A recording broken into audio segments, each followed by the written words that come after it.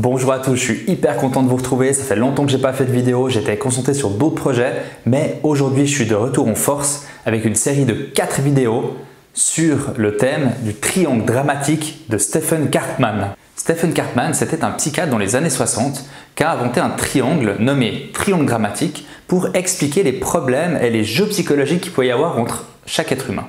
Ce triangle se compose de trois rôles. Pourquoi il s'appelle le triangle dramatique? Car c'est comme au théâtre. Il y a trois rôles et il faut au moins deux personnes pour jouer un des deux rôles ou trois personnes pour les trois rôles. Le premier rôle, c'est le rôle de la victime, c'est celui qu'on va voir aujourd'hui. Les deux autres rôles, c'est le rôle du sauveur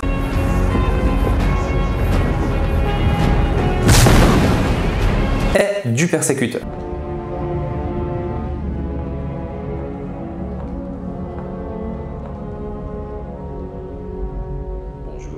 Avant de commencer à vous parler plus précisément sur le rôle de la victime, il faut que je vous explique deux, trois choses sur ce triangle. Donc, ces jeux sont faits de manière inconsciente. Ça veut dire que quelqu'un qui est en position de victime ou de persécuteur ou de sauveur le fait le plus souvent de manière inconsciente. Ils ne se rendent pas compte au final de quel rôle il est en train de jouer. De plus, comme au théâtre, on peut très facilement passer d'un rôle à un autre. C'est tout à fait possible qu'une victime se retrouve très vite persécutrice et après sauveur. Ce qu'il faut savoir, c'est que chaque personne inconsciemment trouve un bénéfice à jouer le rôle qu'elle a. Ça veut dire que les trois personnes n'ont pas vraiment d'intérêt à ce que les rôles changent, car chacune y trouve son intérêt. Ceci crée une sorte d'équilibre dans ce triangle. Et bien entendu, chaque personne aura un rôle plutôt favori, qu'elle jouera plus souvent qu'un autre. Aujourd'hui, on va parler de la victime, donc qui est tout en haut du triangle. Je vous expliquais avant que chaque personne trouvait un certain bénéfice pour lui dans la position dans laquelle il était. Donc vous allez me dire, mais au final, quel est le, bénéfice d'être dans la position de la victime? Eh ben, Il y en a quand même. Pour commencer, la victime va attirer l'attention sur elle, et en particulier l'attention du sauveur. Pour des personnes, par exemple, en manque affectif, ce sera idéal pour recevoir de la compassion, de la protection et de l'attention. La victime peut se plaindre. Comme elle est en position de victime, c'est tout à fait légitime pour elle de se plaindre et elle peut le faire. Toujours sur moi que ça tombe les complications. Oh là là là là, c'est vraiment trop injuste. La victime ne veut pas reconnaître ses responsabilités. Comme elle est la victime, tout le mal est dû au persécuteur.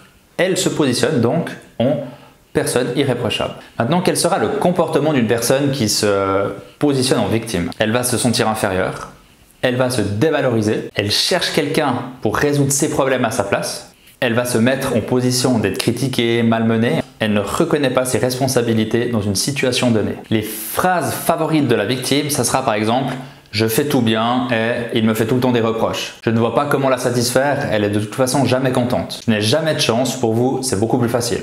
Tu ne viens jamais me voir. Comme on peut voir, c'est très souvent des phrases négatives et généralisées. Tout cela fait que la victime n'a pas forcément envie que la situation change, elle est bien dans son rôle et elle veut rester comme ça. Car si la situation changeait, elle n'aurait plus l'attention sur elle, elle n'aurait plus d'excuses pour justifier tous ses problèmes.